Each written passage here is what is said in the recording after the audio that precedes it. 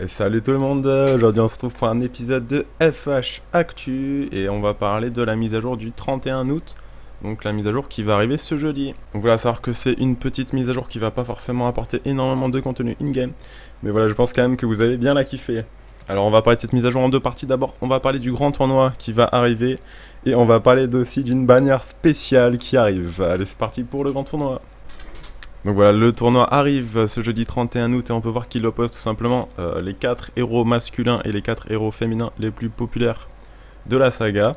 Donc bien entendu, moi j'irai voter pour Tarja. Donc euh, on peut espérer qu'avec bien entendu ces deux groupes-là, on ait deux bannières différentes. Donc franchement, je pense que les deux bannières seront méga intéressantes, hein, surtout pour ceux qui n'ont pas encore Hector, Tarja, Ike, voilà, il y a plein de très bons persos.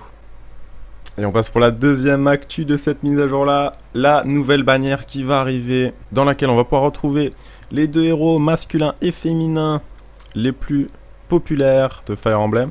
Donc Ike Roy et Lynn et Lucina, bien entendu.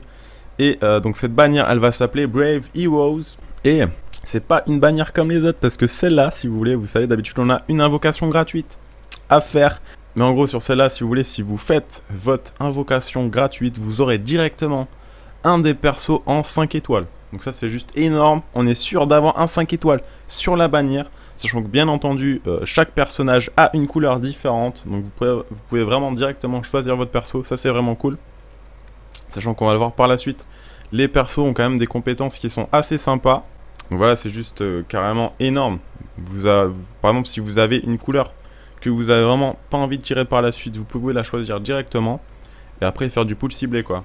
Allez, on va regarder très rapidement la présentation des personnages. Ils ont quand même des compétences qui sont quand même assez stylées. Je vais vous mettre la traduction euh, directement à côté. Je vous laisserai faire votre avis. Donc voilà, on pourra voir que la petite Lucina combattra avec une lance, qu'elle permettra notamment de donner un boost d'attaque pendant le combat. On a ensuite Roy qui combattra avec une épée qui est quand même assez sympa parce qu'apparemment on aura du coup une diminution du CD de son spécial avec. La petite ligne, elle, sera donc le premier archer cavalier du jeu, donc ça ça peut être assez sympa pour les équipes hors emblème. Bon moi je pense pas à la poule du coup vu que c'est pas trop ce qui m'intéresse les teams hors emblème. Mais à mon avis c'est quand même très très intéressant de la poule. Et pour finir on aura Ike qui sera donc à la hache et qui aura lui aussi pareil une réduction de son cooldown. S'il se fait doubler, il aura une réduction de 80% des dégâts sur la deuxième attaque, c'est quand même assez fort au niveau des skills. Voilà, après, on a que les armes et les compétences pour le moment.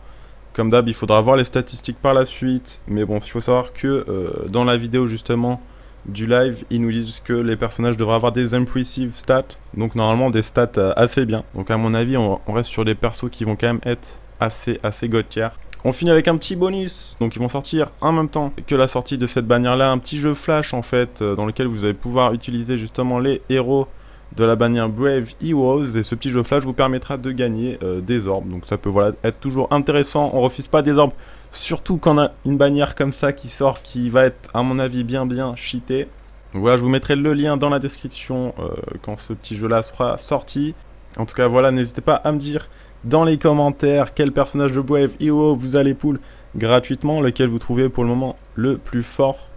Après voilà, moi je pense que je vais faire quasiment à coup sûr une vidéo invocation sur cette bannière là. Bon, comme d'hab, je vais quand même attendre de voir les statistiques.